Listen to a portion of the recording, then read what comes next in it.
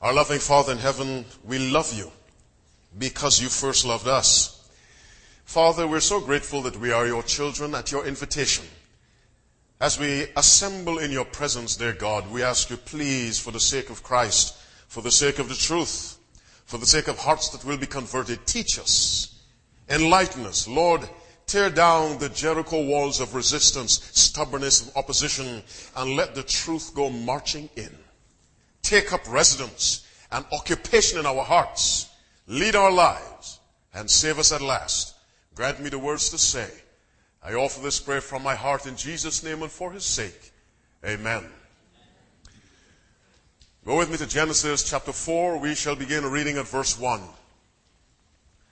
Genesis chapter 4, reading from verse 1.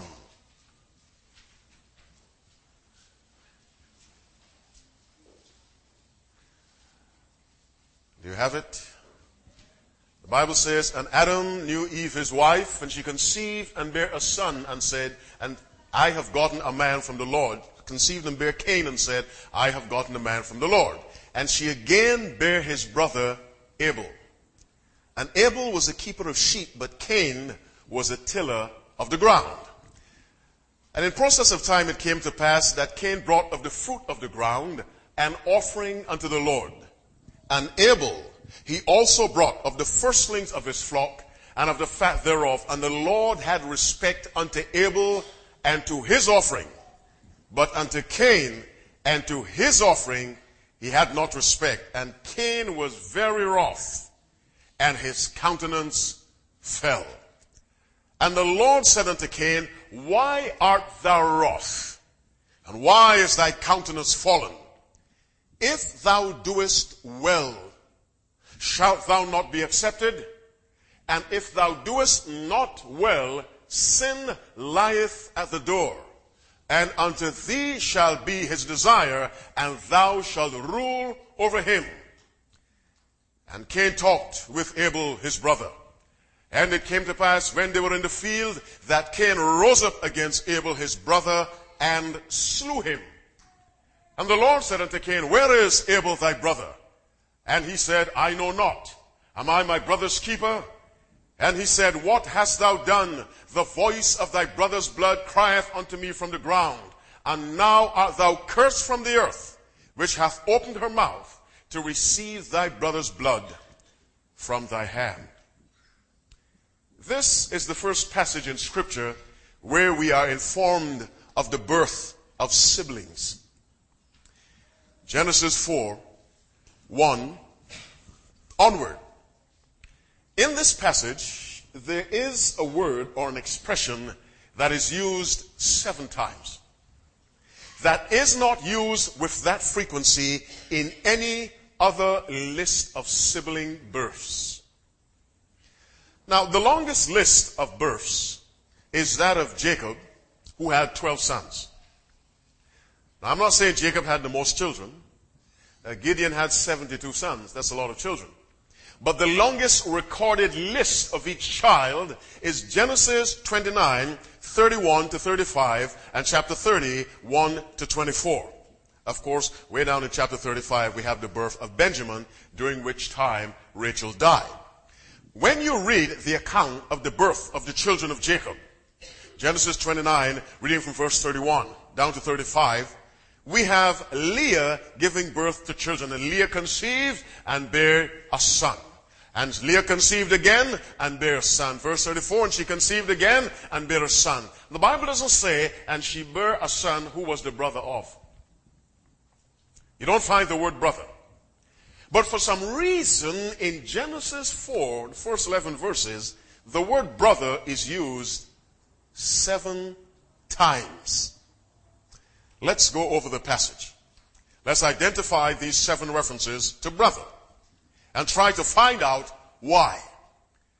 And Adam knew Eve his wife, and she conceived and bare Cain and said, I have gotten a man from the Lord. And she again bare what? His brother Abel. That's number one. Someone keep count. And Abel was a keeper of sheep, but Cain was a tiller of the ground. And in process of time it came to pass that Cain brought of the fruit of the ground an offering unto the Lord. And Abel he also brought of the firstlings of his flock and of the fat thereof. And the Lord had respect unto Abel and to his offering, but unto Cain and to his offering he had not respect. And Cain was very wroth, and his countenance fell. And the Lord said unto Cain, Why art thou wroth, and why is thy countenance fallen? If thou doest well, shalt thou not be accepted? And if thou doest not well, sin lieth at the door. And unto thee shall be his desire, and thou shalt rule over him. Verse 8. And Cain talked with Abel his brother. And it came to pass when they were in the field that Cain rose up against Abel his brother and slew him. And the Lord said unto Cain, Where is Abel thy brother? And Cain said, I know not. Am I my brother's keeper? And he said, What hast thou done? The voice of thy brother's blood crieth unto me from the ground. And now art thou cursed from the earth, which hath opened her mouth to receive thy brother's blood from thy hand. What is God saying to us as we continue with the subject which I'm mentioning for the first time? Who was that man without a keeper? What does God want us to learn from Genesis 4 1 to 11? Now, God is very famous for asking questions. Now, we generally tend to accuse people, but God prefers to ask questions. And so, even though God knew what Adam had done, in Genesis chapter 3, verse 9, the Bible says, And the Lord God called unto Adam and said unto him, You did something wrong. What does the Bible say? Where art thou? You tell me. No accusations, just questions. You tell me. And when Adam said, The woman whom thou gavest to be with me, she gave me of the fruit and I did eat. The Lord God said unto the woman, You did your husband wrong. What did God say to Eve? What hast thou done? Tell me. Talk to me. I'm listening. God does not accuse all the time. Sometimes He gives us an opportunity to tell him what's going on. Now, when God came to Adam in Genesis 3 verse 9, the Bible says, And the Lord God called unto Adam and said unto him, Where art thou? God was asking Adam to give an account of himself. Tell me your condition. Tell me what's going on. Tell me how are things with you. Tell me about you. But in Genesis 4 verse 9, the Bible says, And the Lord God said unto Cain, Where is whom? In Genesis 4 now, we have God asking one man about another man. We have God asking one church member about the spiritual condition about another member.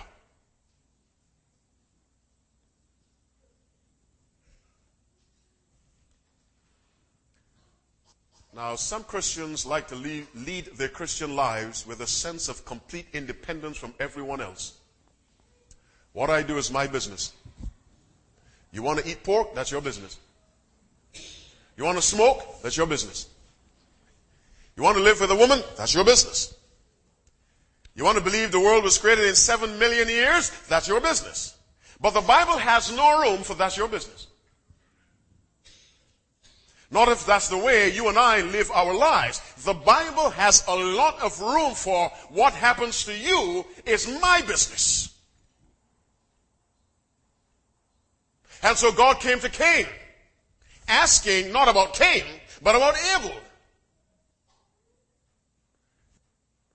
Every Christian member of the church has a responsibility before God to, to know what's going on with his brother or his sister without being a meddler in other men's affairs, according to Peter. God doesn't call us to be nosy, God calls us to be caring. God doesn't call us to be inquisitive, God calls us to be concerned. One man concerned for the other is part of the way the church must function. There must be no one in the church who lives as if no one cares about me. So God has every right to say, bless. Where's January? to say, Lady, where's Ellen? And Lady can't say, I'm busy. Why don't you ask Ellen's mother? The Lord said, no, if I wanted to ask Ellen's mother, I would have gone directly to Ellen's mother. I am asking you, as her sister in Christ, you tell me about her spiritual condition. Don't you realize she hasn't been to church for four consecutive Sabbaths? Have you called? Have you sent a card? Have you visited? Tell me about Ellen.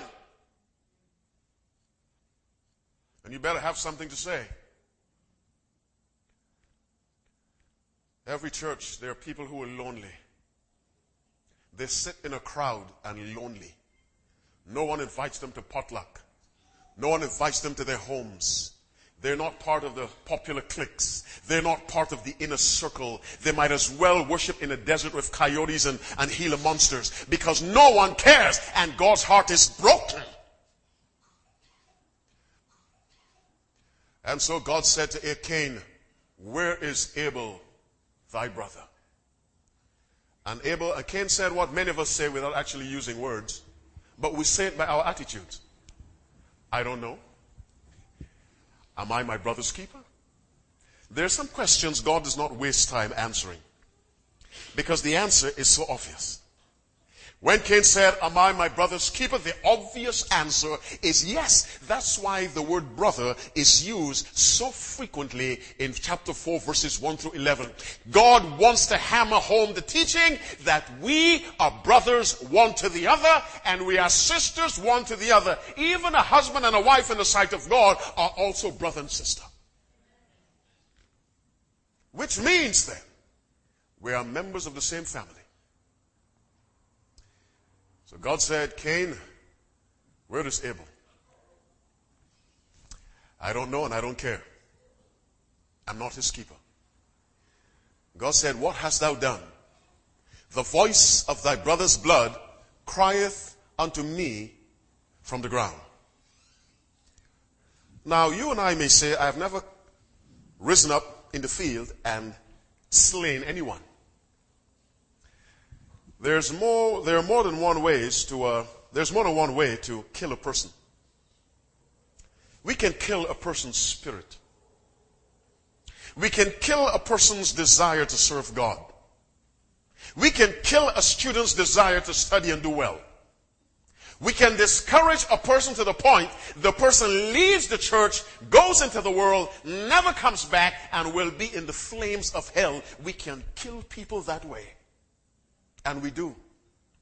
Murderers and vegetarians. God said, The voice of thy brother's blood crieth unto me from the ground, and now art thou cursed from the earth, which hath opened her mouth to receive thy brother's blood from thy hand. Are there members' blood from this church crying out to God? Because other members have spilled their bloods by attitudes I work for the government. You are unemployed. I can't talk to you. I have this. You don't have it. We can't associate. I drive this. You drive that. We can't talk. All my children in dental school. Yours went to a Bible teacher school. We can't associate.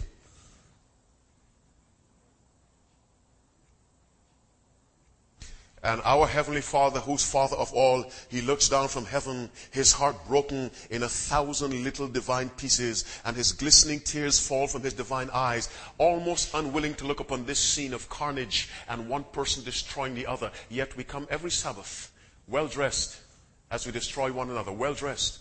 If you're going to do it, look good doing it. There is something that God created for our good. It is called influence. Let me tell you something you already know. God has arranged it that people will influence other people.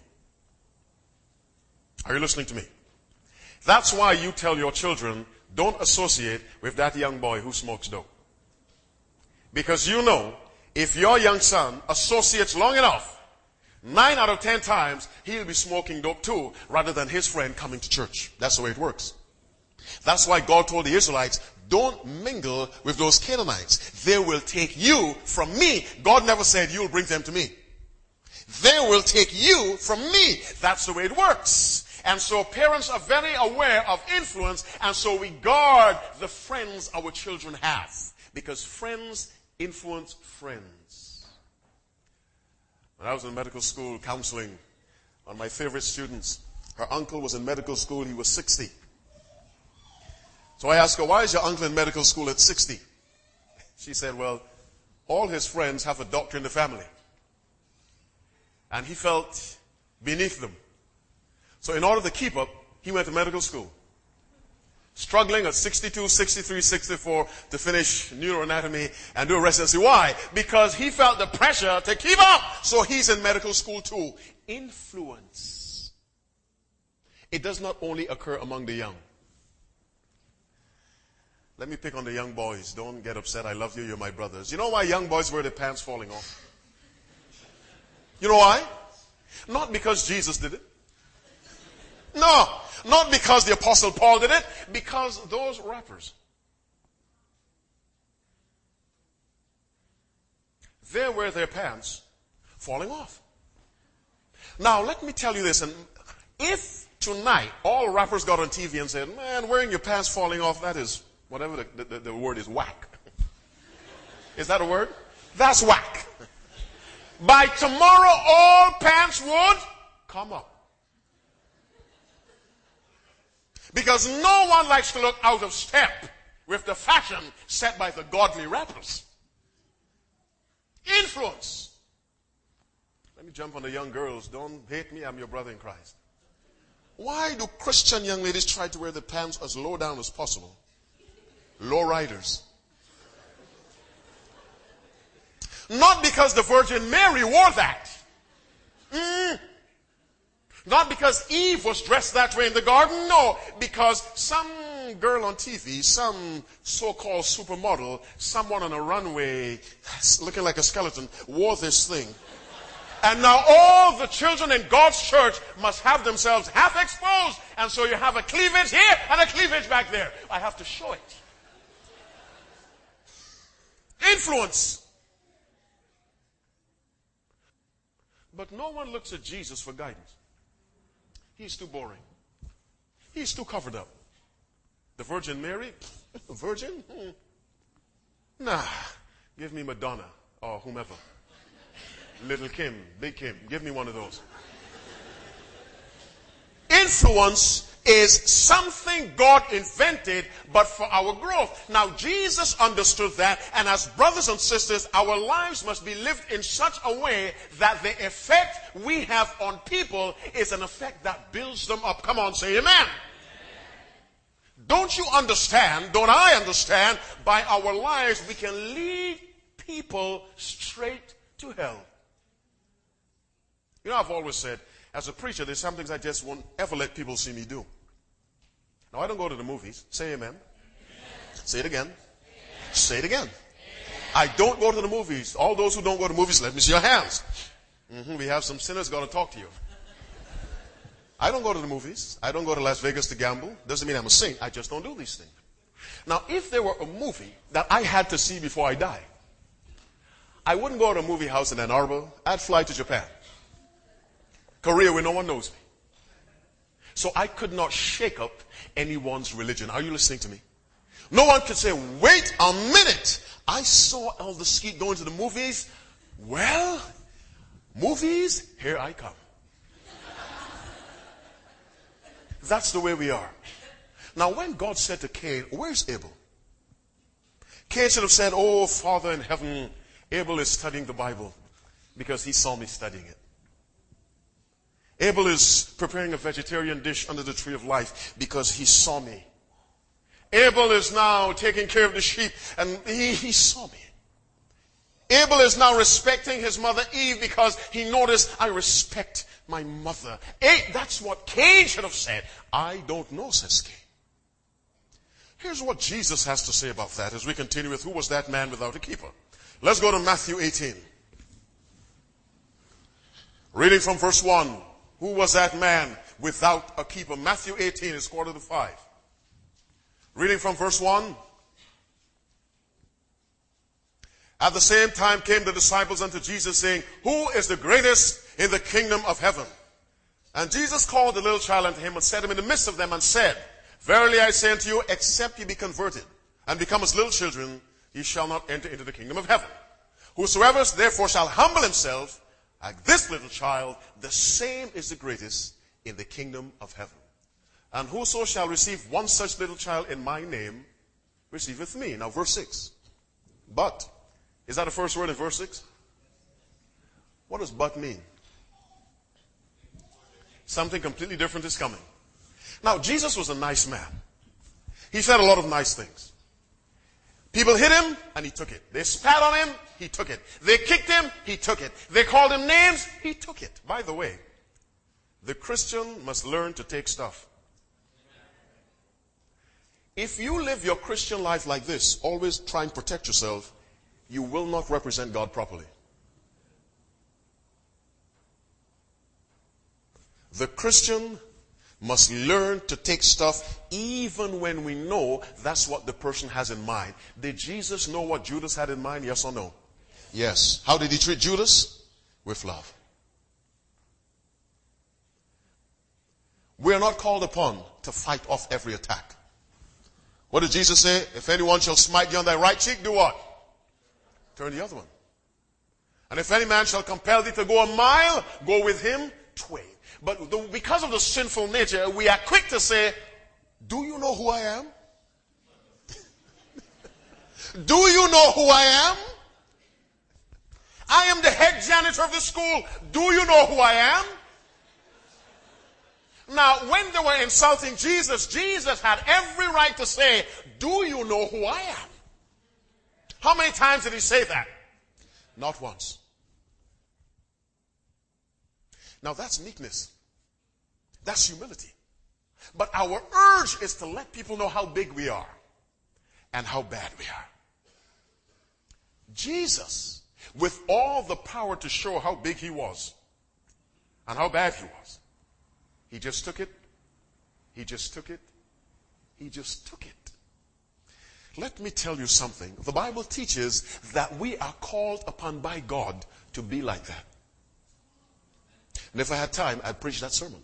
Now, I am not saying that we buy a t shirt which says, I am a mat, walk on me. I am not saying that.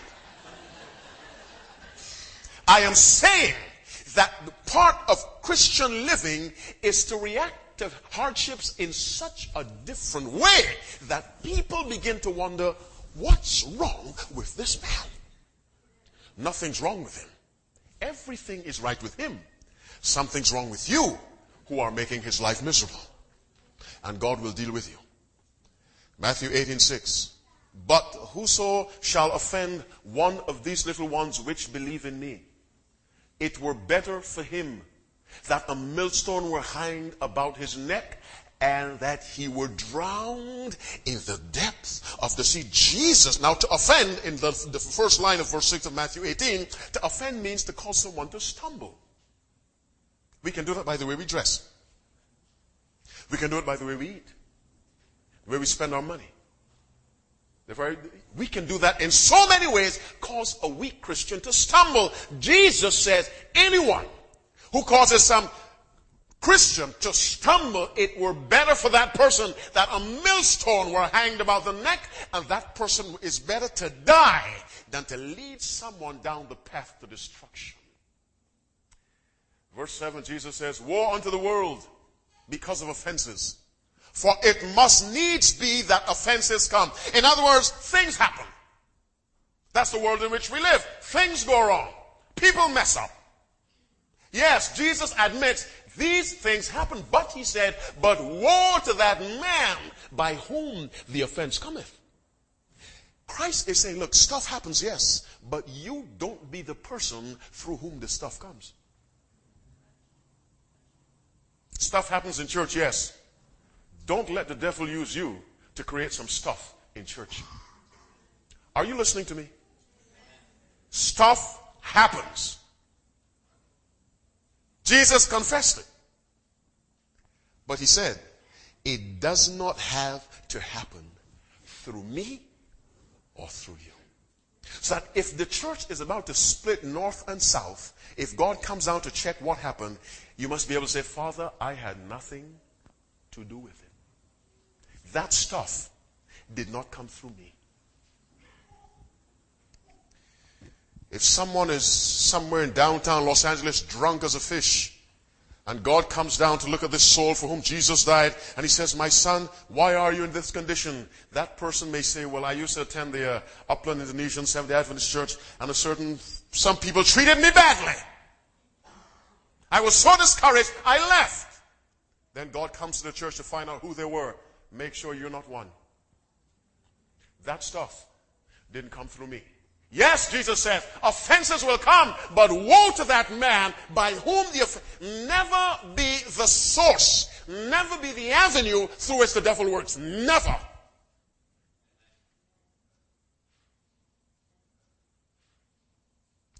Some members of the church, you know, they, they, they, almost wear their trouble like bars. The sergeant, I was a corporal last year, I caused a little more trouble, now I'm a something. A little more trouble this year, now I'm a sergeant. I just wait for next year to be a lieutenant. Cause all the trouble in the church, I have my stripes. So when I walk in, people go quiet. Here he comes. Caiaphas. Shh, be quiet. God views that very, very harshly. We are brothers. We are sisters. Let me ask all of us a very troubling question. Is it possible there is anyone who will be lost as a result of your influence? Don't, don't answer. Don't answer. My question is, has it already happened? Think of this. How many of you are in school? Can I see your hands? You're attending some school, primary school, kindergarten, something. College, university. My apologies, Dr. Bless. Okay. Jesus comes back, the holy city comes down. All the saved are in the holy city, and you are there. In outside the city is a young man who used to sit right next to you in class. He would see you cheat. And he was so influenced by your bad behavior, knowing you're Christian, he started to cheat too. And cheating in class led to gambling. Gambling led to theft. Theft led to prison and his life went. At some point, you repented and the Lord fixed you up, and that guy was still gone. Now, Christ has come. Hail and brimstone are about to come down, and the young man sees the fire coming. Then he turns and he sees you on the walls of Jerusalem safe, and he wonders, why is he there? And I'm here. This was the guy who taught me how to cheat. And some woman sees the fire coming. And she turns, looks on the wall, and sees some sister in the church.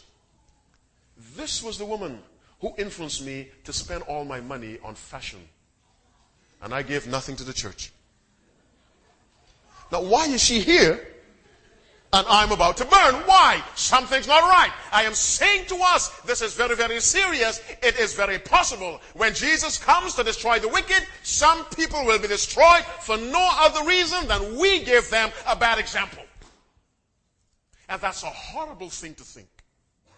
Ellen White writes, I forget exactly where she wrote it. She said, in the judgment, many parents will be shocked to learn that what their lost children became they were chiefly responsible. Don't you know your children see how much you work and how little of the Bible you study? They see that. Now you think because they're eight and nine, it doesn't register. You're making a sad mistake. He's only 10. He doesn't pay attention to the fact that I don't study the Bible. Oh, yes, he does. He does. But he won't see anything because you're his mother. Now, when he's 18 and about to leave the church, and you're begging the pastor to pray and fast,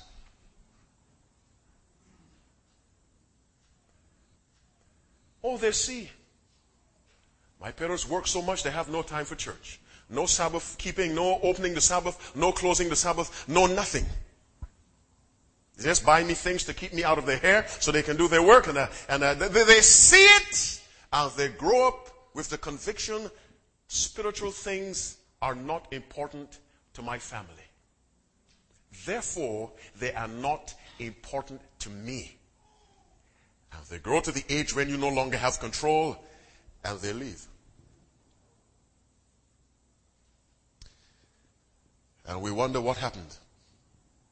We want everyone on earth to pray for our children. We are our brother's keeper. We are our children's keeper.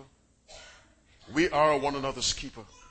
There must be no one in the church who is without a keeper. My brothers and my sisters, in Psalm 133, verse 1, the psalmist says, How pleasant and how good a thing it is for brethren to dwell together how? In unity. Unity of mind, unity of purpose, unity of direction, unity of soul, unity in the decision to die rather than to dishonor God, unity in the determination to serve God, glorify God, honor God, be Christ-like. Oneness in mind. This was the way they were when Pentecost came. Not simply in one room, but in one place, spiritually.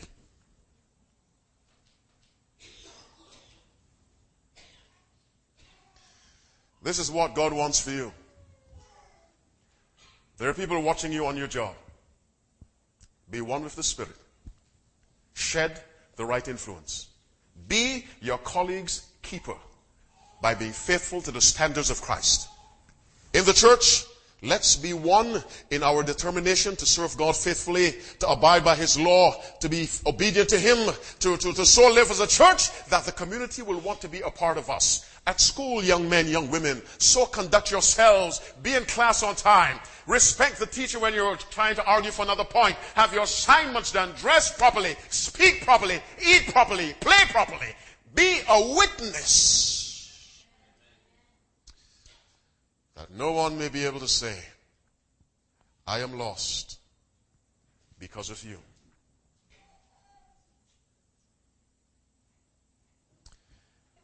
Upland Indonesian Seventh day Adventist Church, where is Abel thy brother?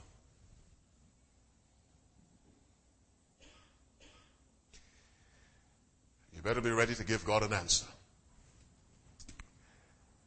Because we are required to care one for the other. The book is closed, meaning I'm finishing. I believe you've gotten the message. Let me ask you an embarrassing question. Don't answer me. Is there someone here, member of this church, who does not like another member of this church? And I use the word does not like just to be kind, I really mean hate. Is there a member of this church who positively dislikes another member? And you are saved as saved can be. Your place in heaven is assured, but you hate someone in this church.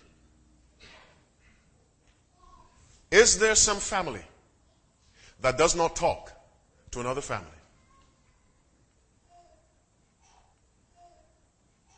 And do you have a Bible verse to support you?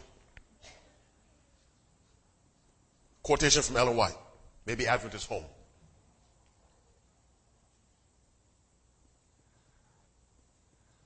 All right, let me release you from silence. Feel free to answer me. Is there someone here who does not like some other member? Show yourself. Raise your hand.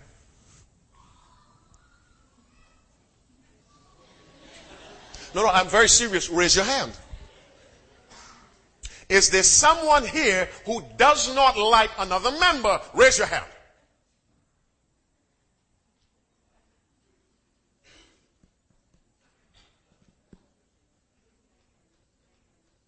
Is there someone here who is not sure I don't like another member? Raise your hand.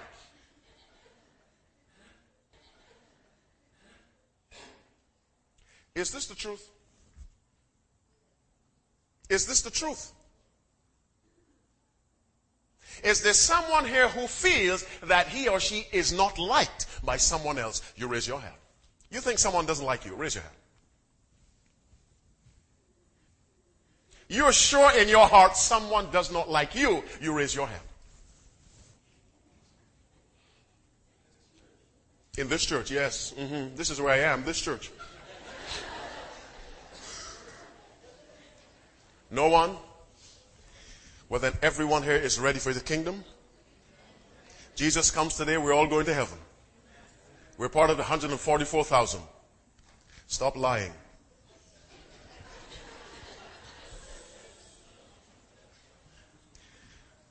I speak to you as your brother in Christ. I am an Indonesian. Say amen. amen. I made myself one. And there's nothing you can do to change it. Because your father is God, he's my father. If you're Indonesian, I'm Indonesian, God is Indonesian. Now, is this the way God wants us to live?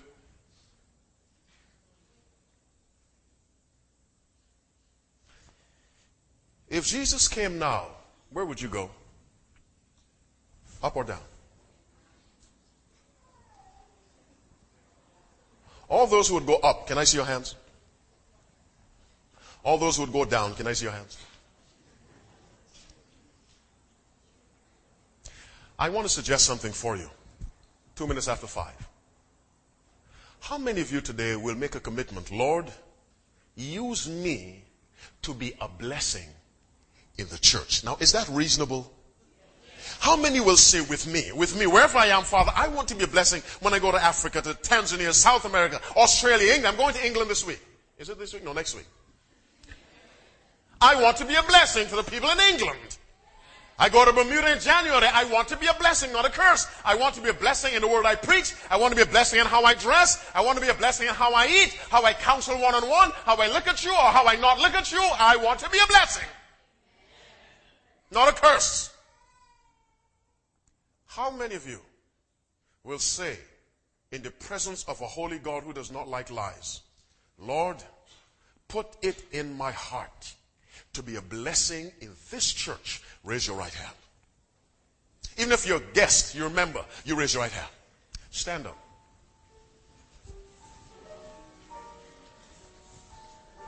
Now don't lie to God. Don't lie to God. Who is that man without a keeper? We must look out for one another.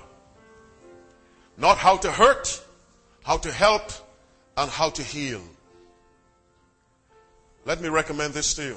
If there is a family you have never invited to lunch, make it your business prayerfully to invite that person sometime soon. Did you hear me? Try it. If there's someone you've not spoken to for weeks, say a prayer. Ask God to give you the words and go to the person and spend two or three minutes just talking for someone for whom Jesus shed the same blood as that which he shed for you. If you know there's someone who does not like you, ask God for power. Take a deep breath. Take a day to fast. Get some divine courage and go talk to the person. Say hi. How are you? God bless you. I am praying for you. Don't risk eternal life on these human negative feelings that we have. Don't risk your eternal life. Eternal life is too precious to risk it on resentment and jealousy and anger and all these little things that are designed to destroy us. Eternal life is too precious. Let's not lose it. Can I tell you a secret? I love you. Somebody say amen. You know why I love you? John 15, 12, this is my commandment that you love one another. I have no choice. I love you because God commanded me, but I also love you because you're lovable. Now, can you listen to a man who loves you? Love one another. Ask God to put love in your hearts. I'll make one more appeal, then we're finished. If you will say, Lord, use me, use me to be a blessing to others. Use me to be a blessing. Leave your seat and come right here. If you will say, Lord, use me, come right here. Use me. And I mean use me. Let God use you anywhere He chooses. Use me at work, at home, at play, at school, in the community, the market. Use me to be a blessing. You come.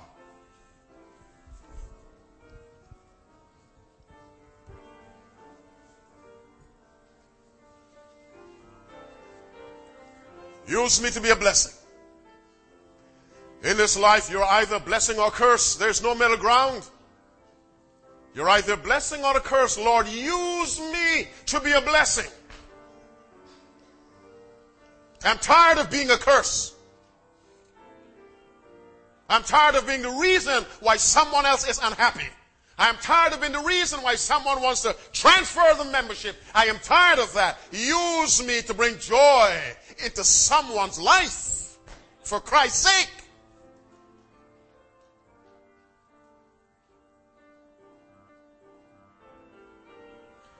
Every head bowed, every eye closed as I, your brother, pray. Father in heaven, I don't know what else to say. I have spoken to my brothers and my sisters. I believe you've given me the words I've spoken. Lord, if I've misspoken at any time, I ask for your forgiveness publicly.